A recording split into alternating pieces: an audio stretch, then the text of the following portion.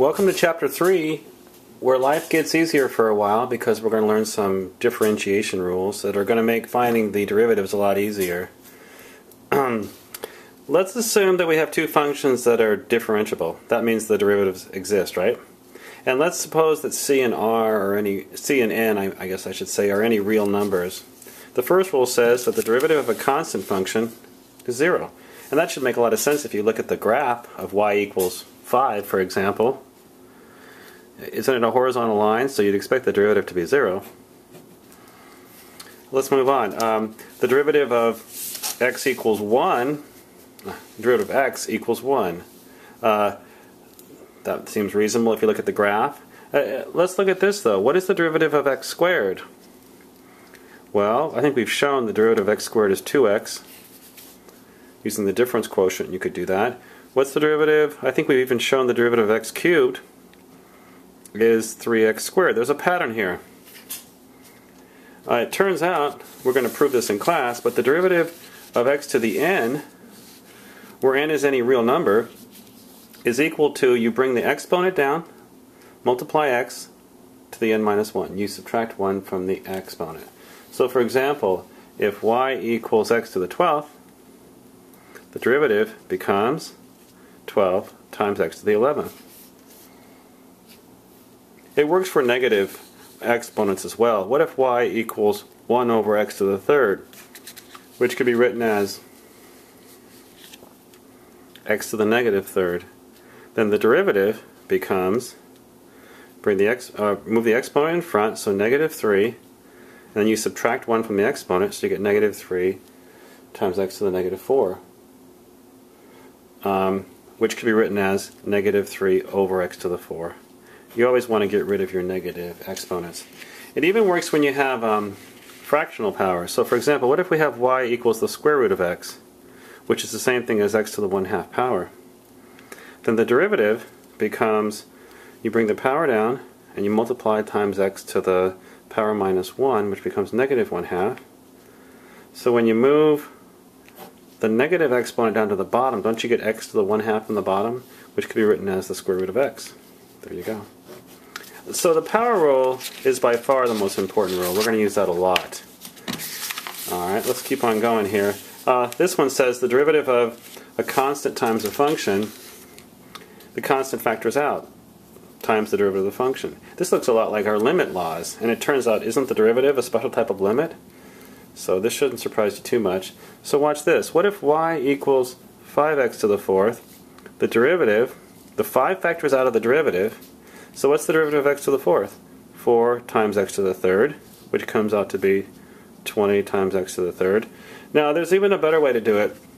You see the pattern here? The 4 comes down, multiplies the 5, get your 20, and then you subtract 1 from the exponent. So let's say you had something like y equals 6x to the 7th, and you want to find the derivative. The 7 comes down, multiplies to 6, you get 42, and then you subtract 1 from the exponent. Pretty nice, huh? Anyway, let's do a couple more. This one says the derivative of a sum of two functions, you differentiate each one. Again, that looks a lot like our limit laws, because it is a limit. The, the derivatives are a special type of limit, right? So this shouldn't be too surprising. When you differentiate a sum, you have to differentiate each one. Same with subtraction. So watch this. If y equals, say, 3x to the fifth minus 4x squared plus 11, the derivative becomes the derivative of each one. What's the derivative of the first? 15x to the fourth. What's the, the derivative of the second? It's going to be minus, remember the exponent comes out, multiplies to 4, you get minus 8, x to the 1. And what's the derivative of 11? Isn't it 0? So that's what your answer is. Okay? Now let's do the last one here. The derivative of x e to the x is e to the x. Uh, we'll talk about that more in class why that's true, but what that means is if you were to take the graph of e to the x, and if you were to look at the slope of the tangent line, and uh, plot the slope of the tangent line uh, as your y coordinate, then you, to, to, get the derivative function, it would land right on the function itself. I think we've done that in class. The, the graph of the derivative function is the same as the graph of the function, is what I'm trying to say. Anyway, so um, if y equals, say, 5 e to the x, what would be the derivative? It would be the 5 factors out, and the derivative of e to the x is e to the x. Okay, we'll do some more of those in just a minute. So what's the derivative of this polynomial function? It's actually not that hard at all. The derivative of this, by the way, you wouldn't want to use the difference quotient on this, would you? The derivative of this, you take the derivative of each one, you get this. The derivative of the first, it's going to be 5 times 12, which is 60, x to the fourth. Here we get minus 18x squared plus 2 minus 0. The derivative of the second one is the derivative of each piece. Remember, the derivative of 3 times e to the x is going to be 3 times e to the x. Here we get minus 15x squared, and the derivative of 11e, this is a constant. That's sneaky, isn't it? The derivative of this is 0. This one is a little bit sneakier than, than the others, actually. We don't know how to take the derivative of a function to a power, just x to a power. So I hate to tell you this, but you have to multiply it out. It would be helpful, though, if you know the formula for how to multiply out a binomial cubed. Anyway, you get to this point where you multiply it out. Now the derivative is the easy part. You get 24x squared plus 24x plus 6 plus 0. To differentiate this function, you first have to move the z to the third up to the top, call it z to the negative third. Now you can use the power rule. That gives you negative 18z to the negative fourth when you subtract 1 from the exponent. And your final answer, move the exponent down, make it a positive exponent. Negative 18 over z to the fourth. This next one's kind of hard. Before you can differentiate this, you're going to have to write it with fractional powers. And then when you move this x to the 1 half up, you get this. So when you differentiate, this, this is what you end up with. 1 half x to the negative 1 half. You see why this becomes a plus 1 half x to the negative 3 halves?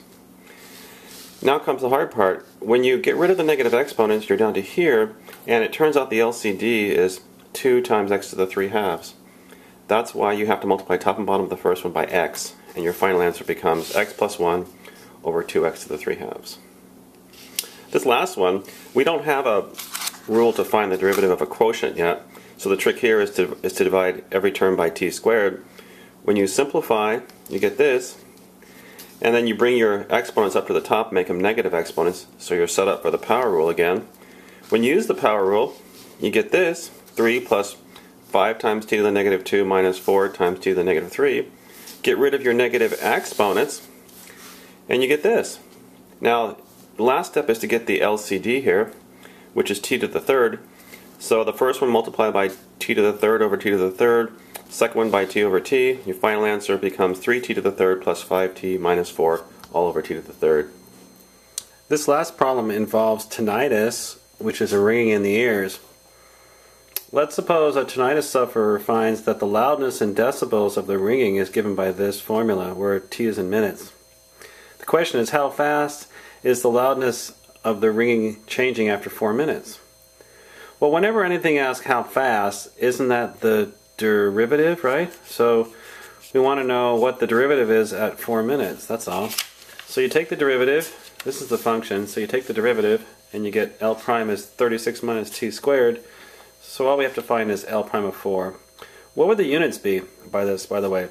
Aren't they going to be the units of L divided by the units of t, so it'd be decibels per minute. When you plug in 4 and simplify, you get negative 12 decibels per minute. So what, what could that mean? That's actually good, isn't it? If the rate of change is negative, that means it's going away. It's getting softer. So you'd say the ringing is going away at 12 decibels per minute. This actually reminds me of a story of a student who used to claim that whenever she'd get tinnitus, she'd just do some calculus problems and the tinnitus would go away. Uh, but unfortunately, she said it, whenever she'd stop, it would come right back. Uh, yeah, she would do the problems and it seemed to go away and she'd stop and it would come right back.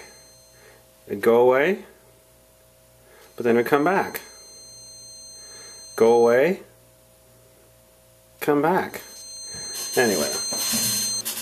So, if you want to get rid of your tinnitus, try doing the homework.